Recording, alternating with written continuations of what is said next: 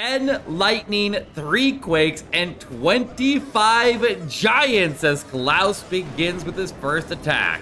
Today we kick off the Coco Invitational. It is two versus two. And each player will get two attacks there, and then the extra account of the war there will not play. But this is a show match, and that means that these guys are going to be trying to be as creative as possible, and we're seeing it right out of the gate. It is Gaku starting us off here with 100 minions to pair with the Queen Charge. That is 200 camp space of just minions here as we start off this Coco Invitational. Now, the teams today are going to be Gaku, and his teammate is going to be Jojo23. On the other side, as you can see on defense right now is Klaus, and he's going to be paired with the player who was on Repotted Gaming when they came in second place at the World Championship, and a star player on that squad, it will be Teemper as his teammate. So let's see what Gaku can do here as he just set up the Flame Flinger with the recall Queen Charge. Now the Queen Charge is redirected to go to the Town Hall now, and not deployed any other healers or heroes here yet.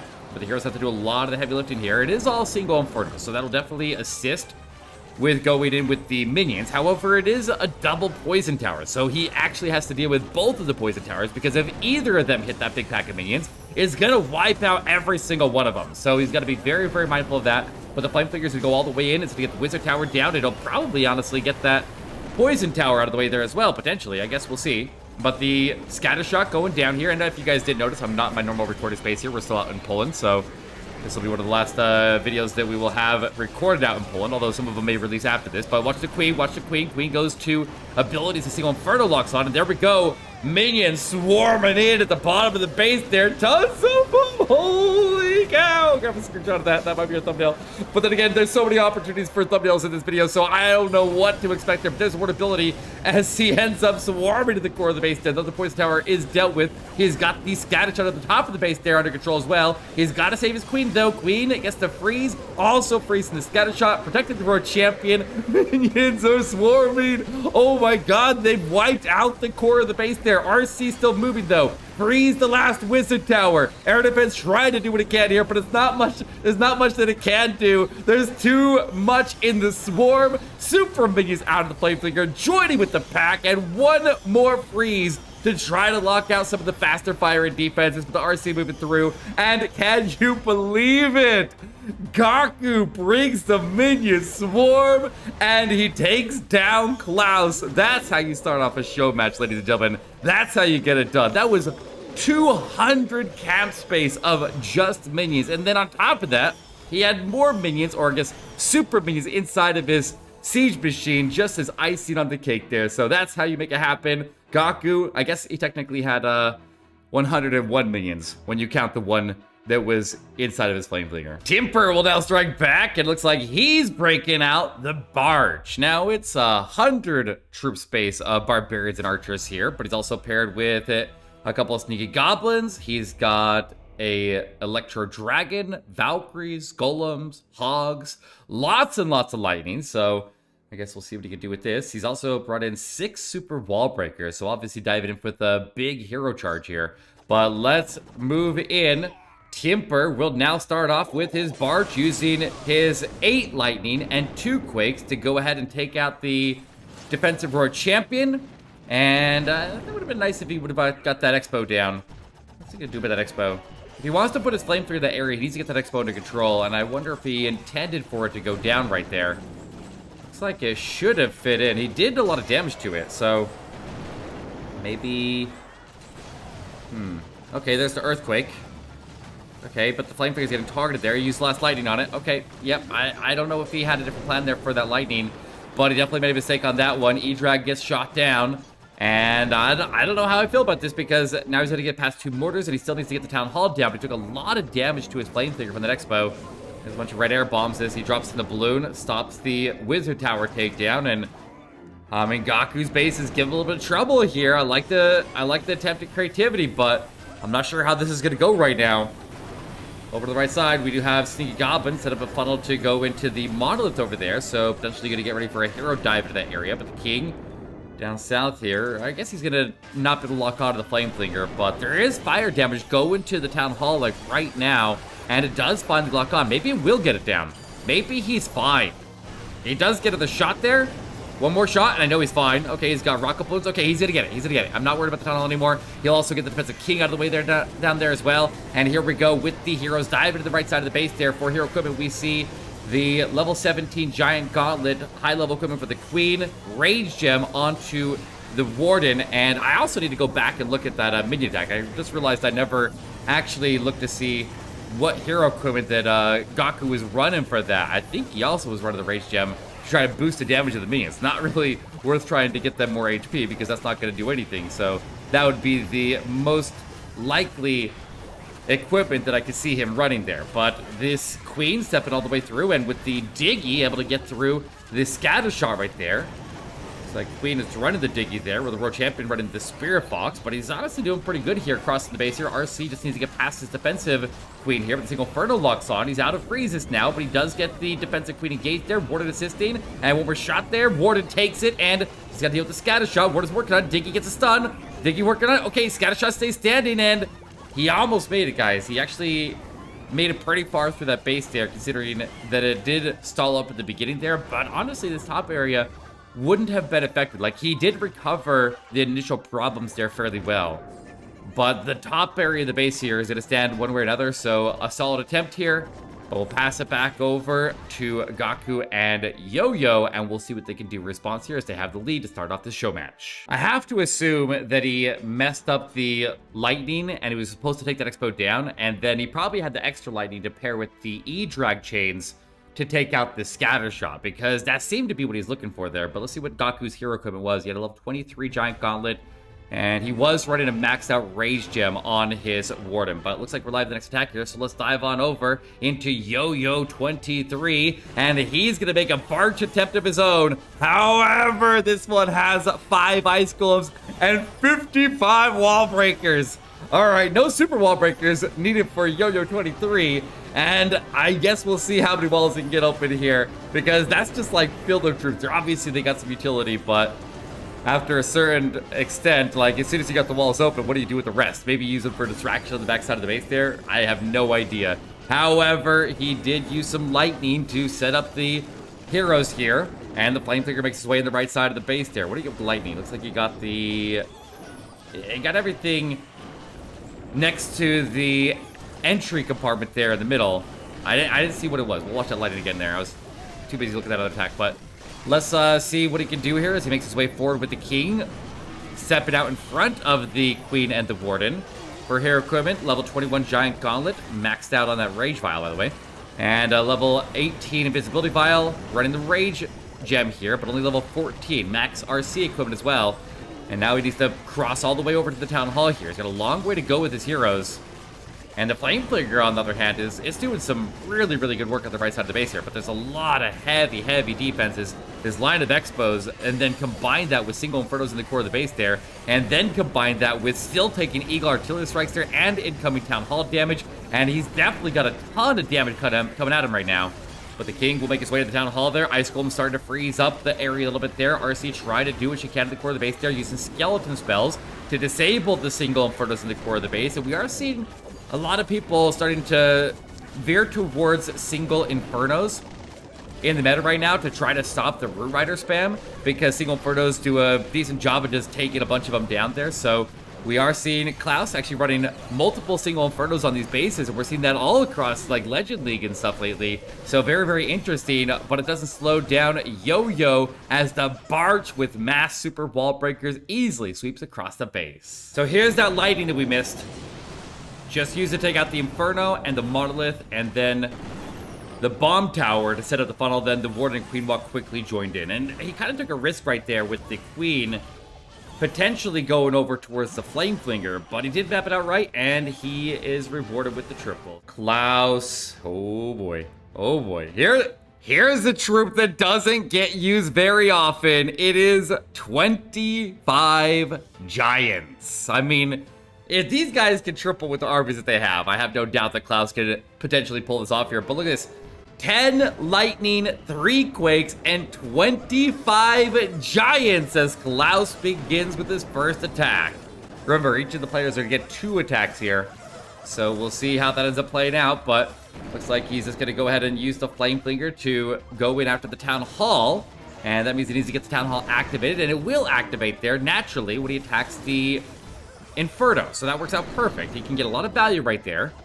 Kind of a weird base, but he will march in that area there without any problem, and the king could have potentially caused some problems right there, but he was able to disable the king and then take him down with the headhunters and get him out of the way, and now with Town Hall activated, he'll get the Inferno, he'll get the Town Hall takedown, and that's a nice setup here. Now he will dive his heroes in for the right side of the base here, and I'm surprised, I'm very, very surprised that he is not using his Giants yet. He had the opportunity to put Giants out in front of the King and the Queen here, and he will start to now. The King is going to just clear his own compartment. We got the Queen out of the way there.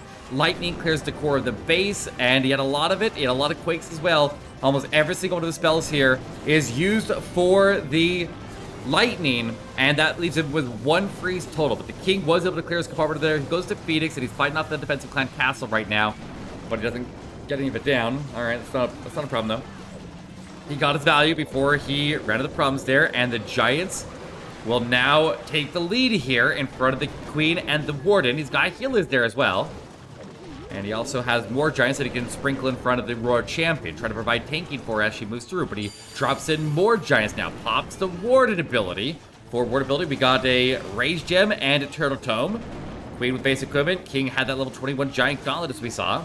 And then some base equipment on the royal champion with no extra levels. But he needs to get through this wall here.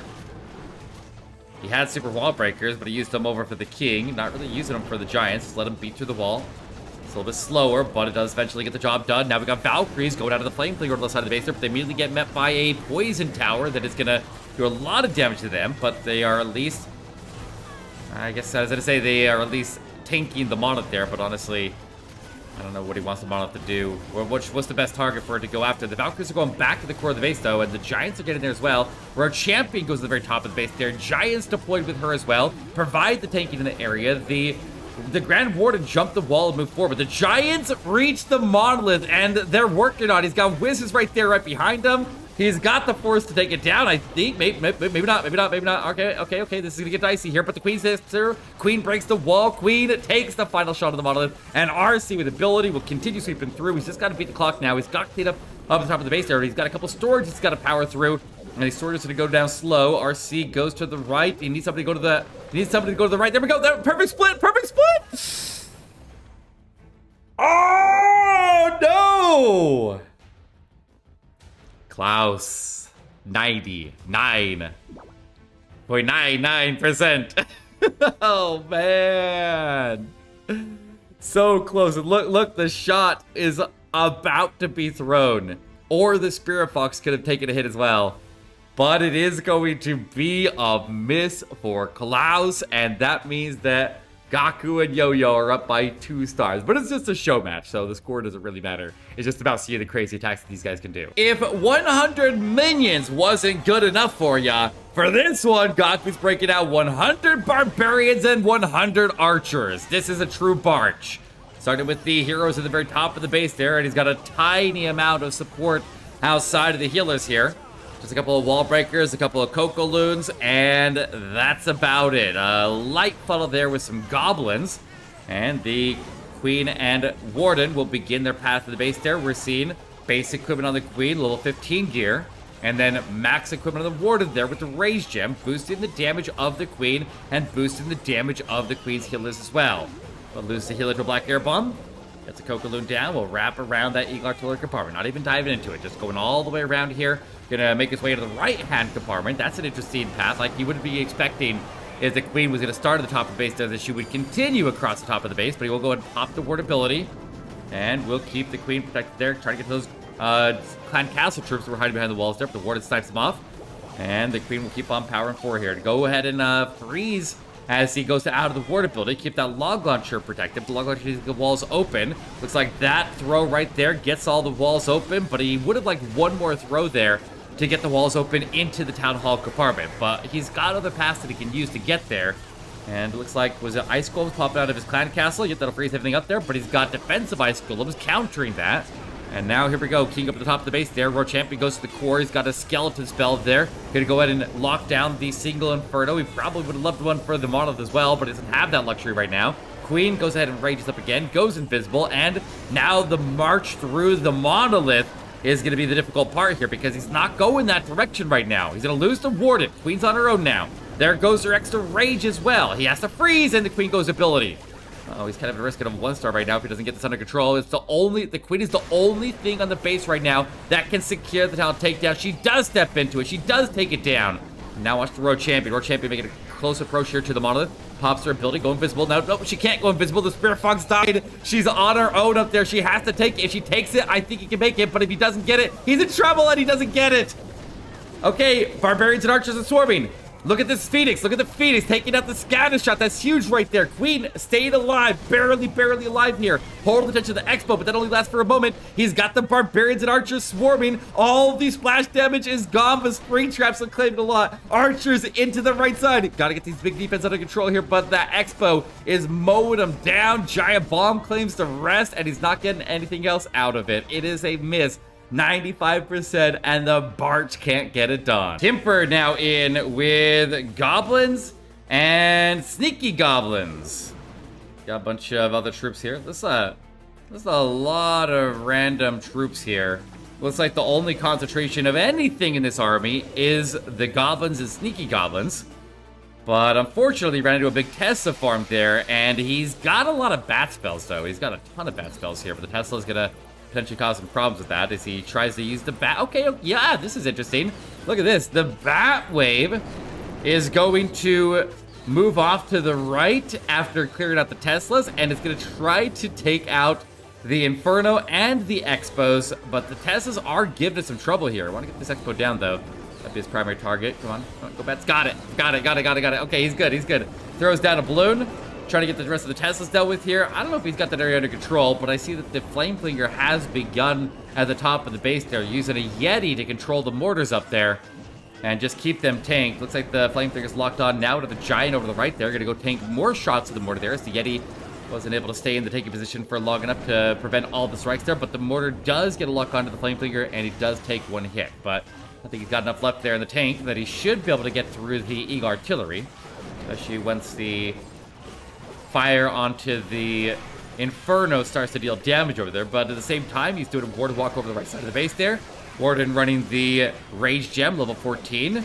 And we're seeing level 17 Giant Gauntlet right here for the King. King's gonna collapse in and meet up with everybody else and looks like he's able to get the Teslas out of the way here, but just sprinkling in some Goblins. There's the Wall Breaker down south. Gonna go and get the Town Hall opened up here, and now we can dive in the Sneaky Goblins with the invisibility to go secure the tower takedown. It's got this. He's got to get this invisibility tower pre-triggered. Otherwise, it's going to be doing a lot of.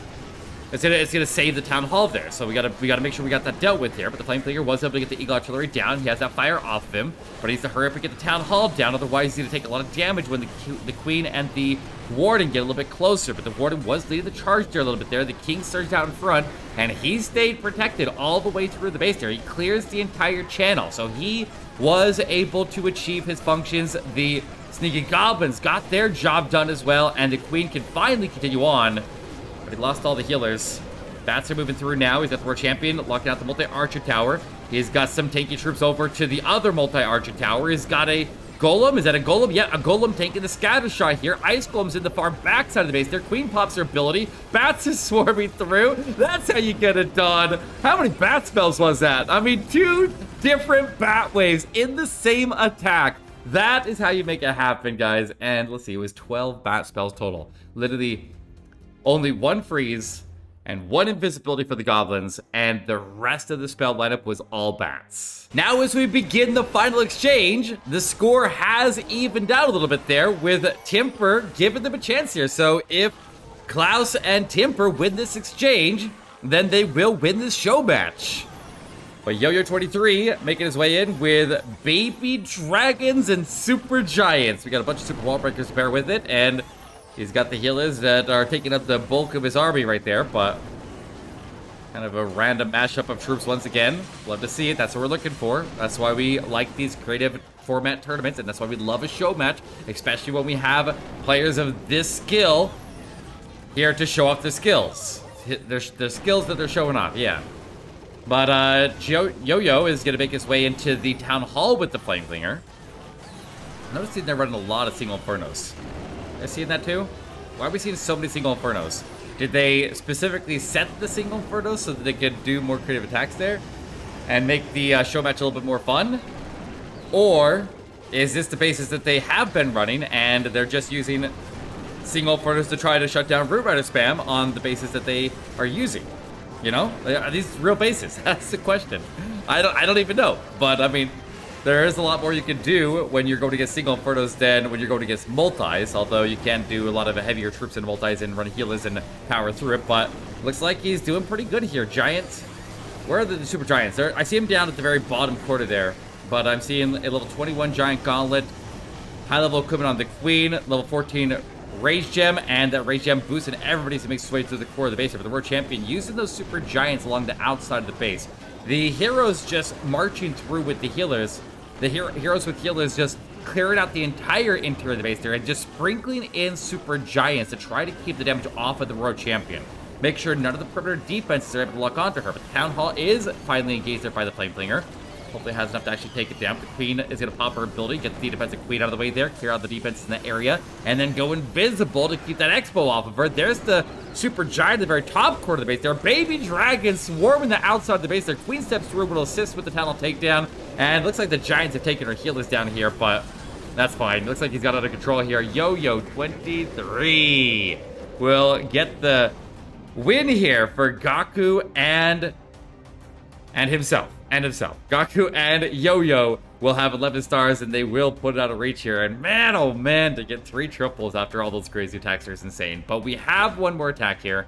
So let's see what Klaus has in store for us for this final attack of the show match. 50 barbarians, 50 archers, 50 goblins, and then 11 sneaky goblins is enough to potentially go secure a Hall takedown. He's got a mix of wall breakers and super wall breakers. One Coco Loon total, and the Queen Charge will begin into the base here, but unlike those other bases with the single Infernos, Jojo 23 has three multis, and imagine trying to send a Barch into three multi-Infernos. Definitely has his work cut out for, him, but he does go to ability very, very quickly with his Queen. Flameflinger doing a good job with the side of the base there. We'll go ahead and clear out a bunch in that area there. At least get the multi-Arch Tower. If he can take the turn up there and get the multi-Inferno out of the way, that'd be amazing. Well, here comes the defensive CC, wall breaking the goblins into the town hall compartment, making sure to go in off to the side. Don't go directly to the center, because if you go off to the side, then we have to... We only have to go through one storage to be able to actually get the sneak goblins onto the town hall. But he gets the invisibility tower triggered with the first wave of goblins. He's got six more on standby. He's got invisibility that he can use there to protect the rest of them. And there they go. Queen taking Eagle Artillery strikes there. But the Queen, did she just go down? Uh-oh, that's not good. That's not good. All right, well, Klaus is in trouble. Klaus is in a lot of trouble there because you're really banking on the queen getting a lot of value here. And if she goes down, then that's... Oh, just kidding. Just kidding. The queen didn't go down. He just recalled her. I missed it. All right. Disregard. He's still, he's still cooking here. Let him cook. There's the warden. Redeployed there with the queen. And the Flameflinger is still moving on the side of the base there. Did he get the defensive hero out of the way over there? Looks like he did. Looks like he got the defensive royal champion with the Flameflinger or whatever was deployed in that area. Maybe some Barch went in there. I don't even know. But now the Clan Castle troops are deployed on the side of the base there, and it is Root Riders popping out. Queen Charge continues. Warden working with the Queen. I can't believe I thought the Queen died there. I completely missed the recall there, and he will have the Root Riders join with the Royal Champion up across the top of the base there, and they can work their way together in the base there, just get a bunch of extra tanking out of them, but they do quickly go down. It's a Scattershot and Expo, just kind of lay into them, but we got a bunch of barbarians and archers working across the top of the base there. Queen and the warden did ultimately go down, so the king is trying to pick up the slack there. RC is going to be hit by the monolith. Monolith is protected by the or by the invisibility tower, but the royal champion goes down. And when the royal champion goes down, this one is stuck. He's not going to make it any further here.